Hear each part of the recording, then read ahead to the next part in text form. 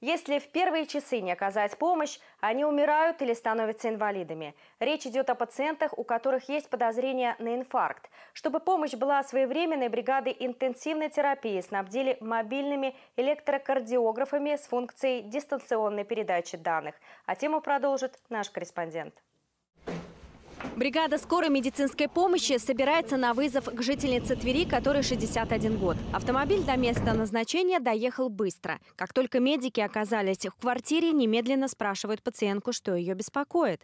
Слабость, лед в спине, давит в грудной клетке, сознание неясное. Привычные цифры давления сколько составляет? Ой, сейчас, сейчас непонятно какие. Сейчас и вверх, и вниз.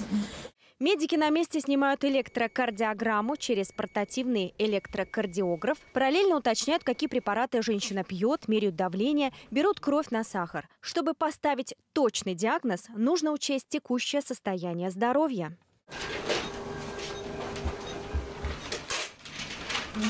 Кардиограмма женщины сразу поступает к кардиологам в региональный сосудистый центр. За небольшое время они принимают решение. На этот раз все обошлось. Надо нормализовать давление и дать соответствующие рекомендации пациентке.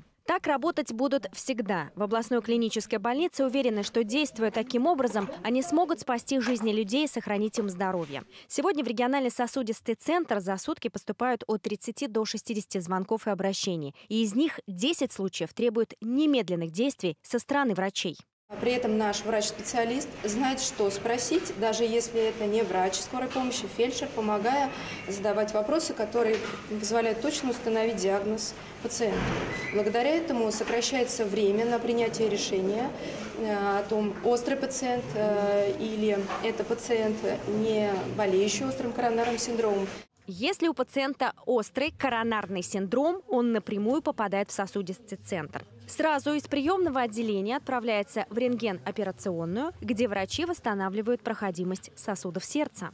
Те, кто не нуждается в экстренной помощи и хирургическом вмешательстве, в ближайшие часы направляются в первичный сосудистый центр и оттуда их забирают в отсроченном порядке. Каждый случай с пациентом отслеживается дистанционным центром и маршрутизируется специалистом.